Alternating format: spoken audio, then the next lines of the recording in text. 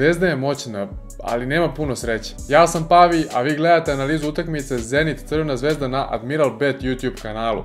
Pre nego što krenemo sa klipom, obavezno zapratite kanal za još ovakvog sadržaja. Silna je zvezda, silni je Dejan Radonjić, neverovatno je na koji način su uspeli da zatvore ekipu Zenita, ekipa koja ima strašan napadački potencijal, nekoliko igrača koji su jako opasni na šutu za 3 poena, nekoliko igrača koji su jako opasni u reketu, stvarno ekipa koja je prilično svestrana, Zvezda je potpuno zatvorila. Naterali su jednu ekipu da na domaćem terenu postigne tek 58 poena. I nije isto kao u slučaju sa Panathinaikosom gde ste vi dočekali nekog i na, na vašem terenu ste to uradili. Ne, ovo je na gostujućem terenu određeno. Šta je Zvezda radila? Zvezda je vrlo jednostavnom igrom uspela da zatvori ekipu Zenita. Pre svega željom i koncentracijom u odbrani. Što je rekao Dejan Radonjić na kraju utakmice, 40 minuta je koncentracija bila tu, 40 minuta je bila dobra odbrana.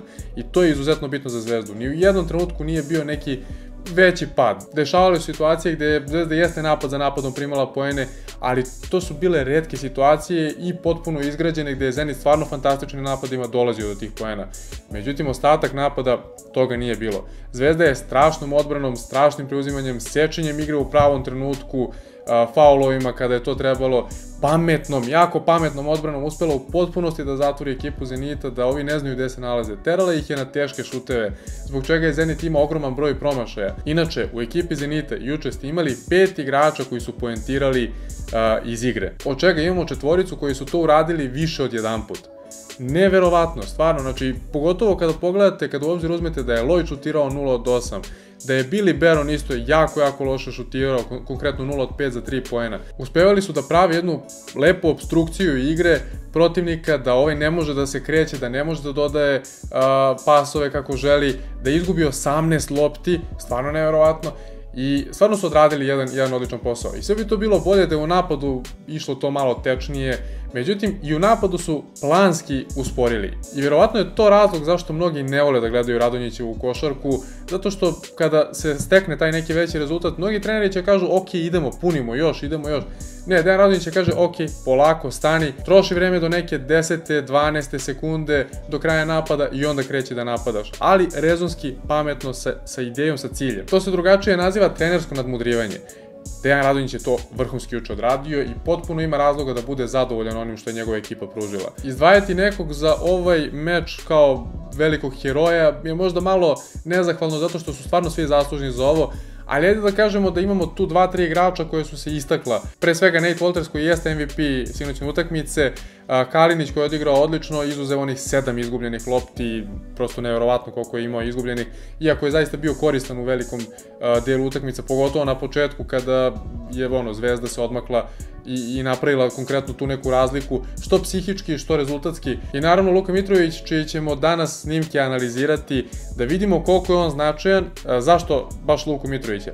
Vraća se Aaron White i moramo da vidimo ko će tu dobiti prednost, ko igra kako, Aaron White jeste odigrao juče 10 minuta i koliko je, kaže 19 sekundi je bio na parketu ali nije puno pružio, što je potpuno očekivano. I rekao sam u najavi ove utakmice u prethodnom klipu da je možda bolje da krene protiv Cibone, jer će imati mnogo više nekako slobode zbog samog kvaliteta protivnika, gde će moći više da se pokaže jednostavno. Međutim, ne, krenuo je protiv Zenito, što je okej, nije greška, ali nije puno pružio, nije u takmičarskoj formi, treba mu malo da uđe u formu i to je razlog onoga što sam rekao, Zvezda nema sreće. Ne toliko zbog Erona Vajta, koliko zbog Nikole Ivanovića. Jedan se oporavi, drugi se povredi. Taj drugi se oporavi, treći se povredi. I stvarno nemaju sreće sa tim stvarima. Od početka sezone ne ide, kada budu bili svi kompletni, opet treba da se stekne ta neka takmičarska forma, da se svi dobro upoznaju, jer nijedan, nijedan trening do sad nisu svi imali zajedno, što je neverovatno od početka sezone, a već je decembar mesec. Tako da Zvezdi tek dolazi dobar period, polako se konsoliduju, kreće sve to na bolje, iako je do sad bilo veoma dobro, stvarno Dejan Radonjić je od ove ekipe izlačio maksimum maksimuma, ali ajde da vidimo, kažem, Aaron White je neko ko donosi dosta nekih blokova, dosta otvaranja na šutu za 3 pojena, dosta različitu igru od Luke Mitrovića, ali šta Luka Mitrović donosi i koliko je zapravo bitan Crvenoj zvezdi, ajmo da pogledamo. Njegova nesebičnost je izuzetno važna Crvenoj zvezdi i bez obzira što nije opasan na šutu za 3 poena, zvezda uspeva da uradi puno sa njim. Odbrane neće mnogo paziti njega, neće mnogo izlaziti na njega, ali on se toliko dobro kreće, toliko dobro nalazi prostor po terenu i toliko dobro vidi igrače da je to neverovatno. Kao recimo u ovoj situaciji, brza reakcija je jako bitna za ovakve paseve na stranu. Ajmo da vidimo šta se desilo. Konkretno, pik Kuzmića, evo ova akcija ovde što je nacrtana, pik Kuzmića, otvaranje ovde, zatim Voltersa koji vidi ne može da šutne preko Gudetica, dole Jordan Miki udvaja i ostaje Mitrović potpuno sam. Ovo bi bila greška da nije Mitrović ovde. Međutim, pošto jeste Mitrović ovde, mogli ste ga ostaviti potpuno šutu za 3 pojena, on neće šutnuti. Miki to nije prepoznao, Luka Mitrović je video da Miki odmah izlazi, da ovi ostali nisu dobro odradili svoj defanzivni posao, da ovde odbrana ostaje u korneru na uh, Kaliniću, potpuno nejasno zašto, znači zalepila se za njega i bukvalno otvara prostor dole za centra da primi loptu, vidi da ruke odbrani nisu podignute i da on može da pošalje taj pas i to se dešava. Znači, stvarno odlična percepcija uh, igre Luki Mitrovića za 2 plus 1. Evo one lepe timske akcije koju Crvena zvezda jako često ponavlja i pali, što je najbitnije, zato što imate dosta mogućnosti da se preuzme, da se stvori neki mismeč i to je ono što Zvezda traži kroz svoje napade. Da vidimo ovde, dva bloka uzastopna, Kobra ide u reket, zatim izlazi napolje Volters i onda šta se dešava?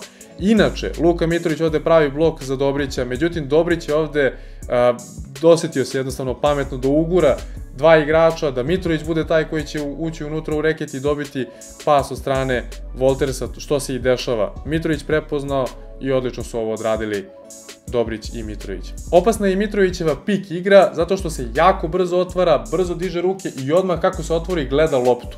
I to je izuzetno važno za jednog visokog igrača. Pa to, uopšte nije napravio blok, ali je dovoljno prišao tako da odbrana mora da pomogne. Volters je takav igrač da ako ne pomognete na njemu, on će naći prostor da dođe do koša.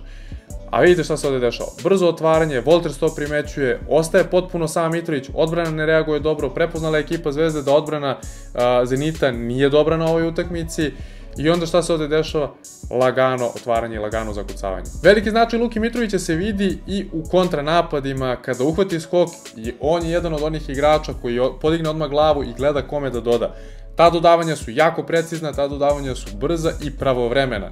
I ajmo da pogledamo ovde konkretnu situaciju. Znači, hvata skok, i odmah pokreće kontru. Odmah je glava gore i odmah ide pas za Kalinića koji je potpuno sam i može da otvori kontru kako treba.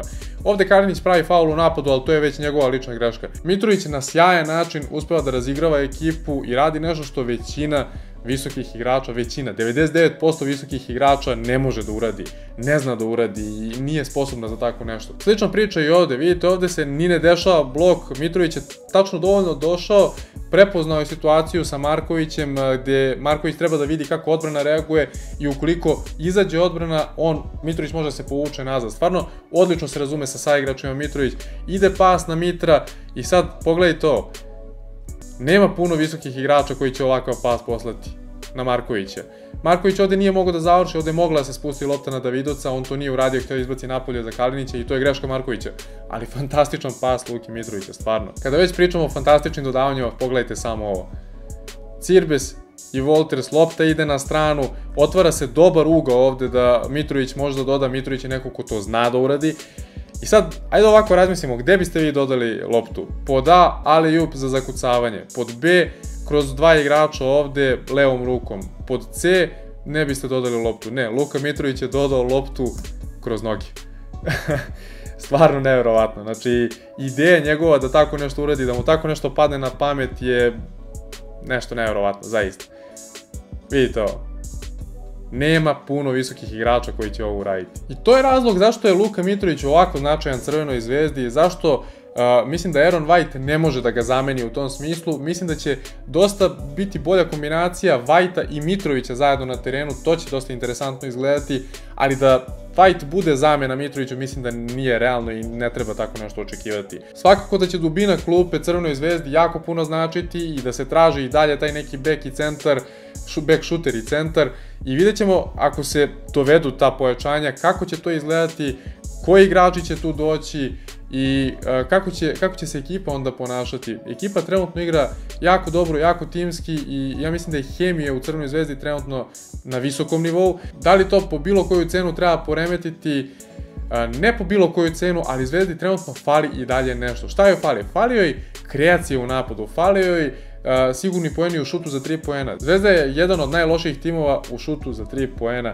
jedan od najlošijih timova u slobodnim bacanjima, Inače, slobodna bacanja koja, na koje su stalno slali igrači Zenita juče, inače ekipa Zenita je 17. u Euroligi po bacanjima, šutira 71% sa linije penala, tako da je opet pametan potez Dejana Radonjića da ih stalno da prave obstrukciju igre i faulovima, ali ono što je poenta da Zvezdi fali neko fali trenutno, fali raznolikost u igri. Zvezda igra jednu svoju košarku, ali kad se pojavi ekipa koja zna dobro da preuzima kao što je to Unix, gde jedinica može da preuzme i četvorku, gde četvorka može da preuzme i jedinicu. Pričao sam u najavi ovog klipa da Zenit to ne može da uradi i da će Zvezda imati mnogo lakši posao sa Zenitom nego što je bilo sa Unixom i Zvezda je dobila tu utakmicu, ovu utakmicu sa 11 pojena razlike, iako je bilo u nekim trenucima 20. Tako da to je otprilike neka priča što se Zvezde tiče. Vi pišite svoje mišljenje dole u sekciji za komentare, nemojte zaboraviti ostavite like i prijavite se na Admiral Bet YouTube kanal, lupite na zvonce, vam stižu obaveštenja, pa do narednog puta, pozdravlja vas, Pavi, ćao!